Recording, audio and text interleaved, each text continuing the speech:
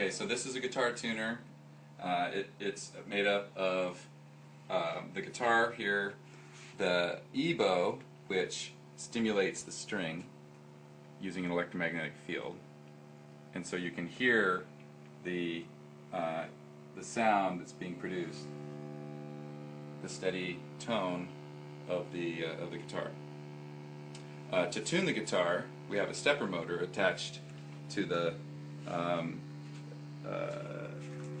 to the tuning peg of the guitar, and we can send signals to to the stepper motor through the to the cable here that is on the output of uh, the cRIO digital output. The guitar pickup is picking up the signal and it's going into the cRIO here and it's being measured.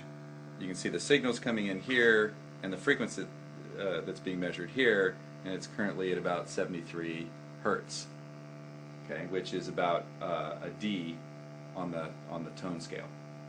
Okay, so now we can we can do a, a test of of the guitar tuning by going to this panel here and putting in the note.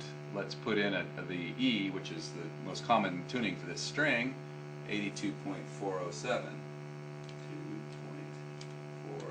2.407. Now when we hit this button here, uh, it will try to tune the string to that uh, to that note.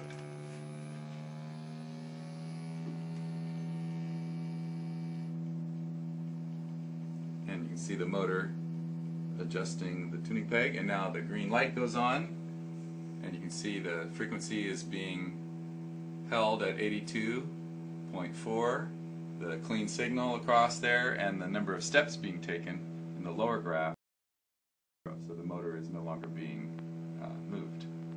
So let's do another uh, step. Let's go up to F sharp, which is 92.5 or so. So we'll stop, start. And it goes up and tunes. And we get a green light. Let's turn it up a little bit here so you can hear it.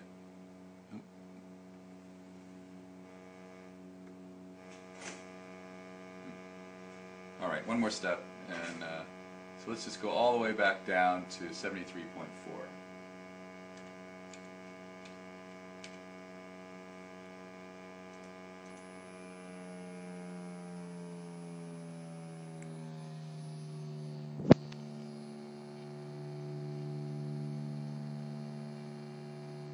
And we have a green light.